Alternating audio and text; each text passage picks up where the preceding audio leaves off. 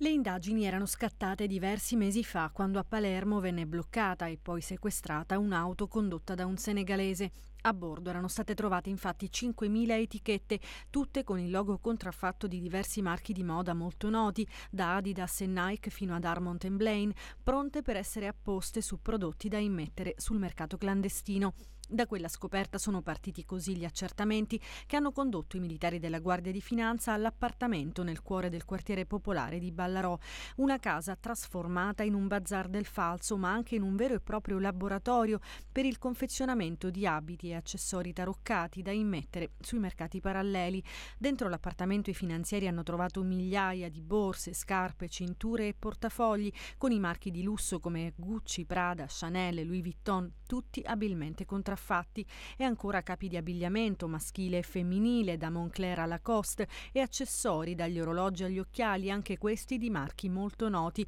da Dolce Gabbana a Chanel fino alla Rolex. C'erano persino tra i prodotti falsificati anche biancheria intima e costumi da bagno.